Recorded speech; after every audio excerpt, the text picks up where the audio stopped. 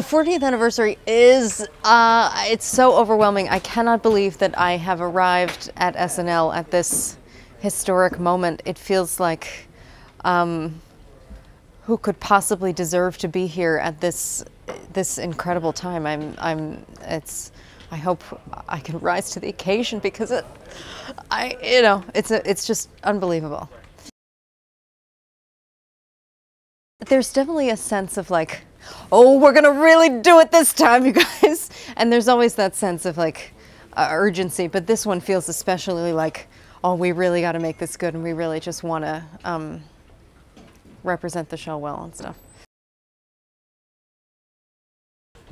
I mean, I watched the show growing up, and I loved it throughout my entire childhood. And then, um, but it always seemed so unattainable. Like I would never, I could never possibly be, even in this building, let alone working here. And then, over my the course of my time here, it's become like, um, oh, you know, I know, I know that person and that person, and I sort of forget like how weird it is that I work at the the place that I always dreamed of working.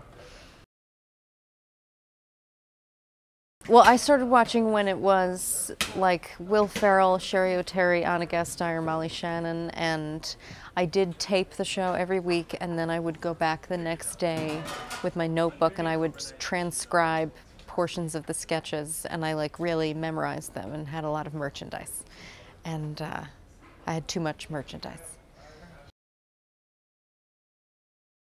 Chris Pratt. What can we say about Chris Pratt? Obviously, like a seasoned comedian, and that's always very exciting when someone comes in who knows how to do sketch.